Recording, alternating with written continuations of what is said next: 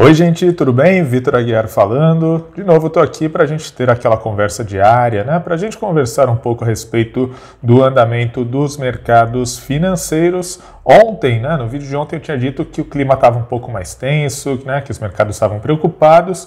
Nessa terça-feira, a gente vê uma virada de mão. Né? O Ibovespa está subindo forte, dólar está caindo e as bolsas lá fora também estão se recuperando com bastante intensidade. Passando alguns números aqui para vocês, Ibovespa está subindo mais de 2% desde a abertura, com isso já está rondando ali a faixa dos 94 mil pontos, e o dólar à vista vai recuando perto de 0,8, 0,9% e tenta ficar abaixo do patamar dos R$ 5,10. Lá fora o dia é bastante positivo nos principais mercados acionários, bolsas da Europa subindo mais de 3%, bolsas dos Estados Unidos avançando aí de 2 a 3%. O que é que aconteceu? Por que é que a gente teve aí essa melhora tão firme de humor, tanto no Brasil quanto lá fora? Basicamente por causa das notícias vindas dos Estados Unidos. Hoje cedo foi divulgado o resultado das vendas no varejo nos Estados Unidos em maio e aí a gente viu um crescimento bastante intenso,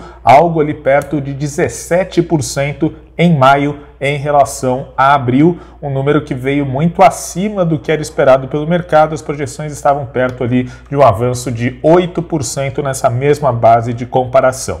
Por que, que esse dado é importante? Porque se vocês se lembram bem, a coisa ali de duas ou três semanas foi divulgado o resultado ali do mercado de trabalho dos Estados Unidos em maio e a gente também teve uma surpresa positiva. O mercado trabalhava ali com um cenário de fechamento de postos de trabalho e foram criados mais de 2 milhões de novos empregos no país, ou seja, a economia dos Estados Unidos ela tem surpreendido positivamente mercado de trabalho e agora o setor de varejo, mostrando resultados melhores que os antecipados pelos investidores e pelos analistas, o que, é claro, né, eleva as esperanças de que a recuperação econômica no país possa ocorrer de uma maneira mais rápida e mais intensa do que era esperado, por exemplo, há dois ou três meses. Então, essa notícia ela pavimenta o caminho para que os mercados se recuperem nessa terça-feira, mas não é só isso. A gente também tem notícias importantes no lado da liquidez. Né?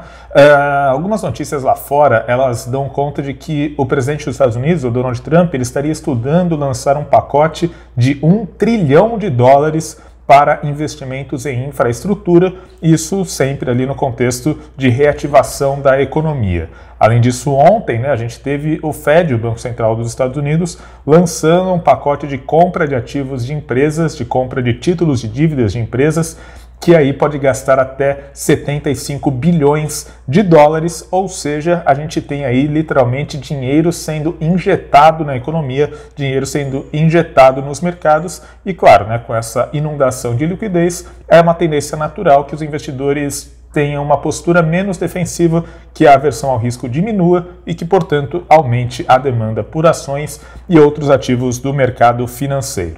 Dito tudo isso, né, mostrado aí esse panorama bem positivo que a gente tem no exterior, é hora da gente falar um pouco também do cenário doméstico. E no cenário doméstico as notícias elas não são tão boas assim. Aliás, as notícias não são nada boas. Né? A gente teve uma queda muito intensa nas vendas do varejo. Novamente falando de varejo agora no Brasil, as vendas no varejo no Brasil em abril recuaram mais de 17% em relação a março, o que é o pior resultado da série histórica que é acompanhada pelo IBGE.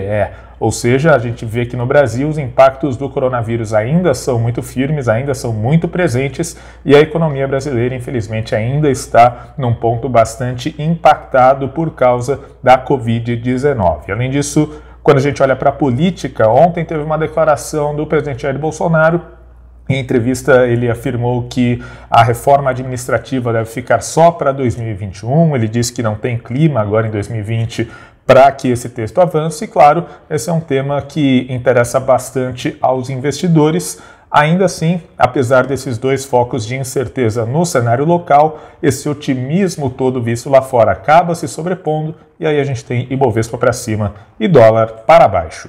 Bom, gente, eu vou continuar acompanhando aqui o andamento dos mercados e vou, é claro, lá no seudinheiro.com fazendo a atualização das movimentações, do que acontece com o Ibovespa, se de fato a gente vai ter aí uma recuperação firme ou se o índice vai perder força até o fim do dia. Convido todo mundo a acessar o nosso site e ficar de olho nas atualizações. Lá a gente vai fazer tudo em tempo real para vocês, tá certo?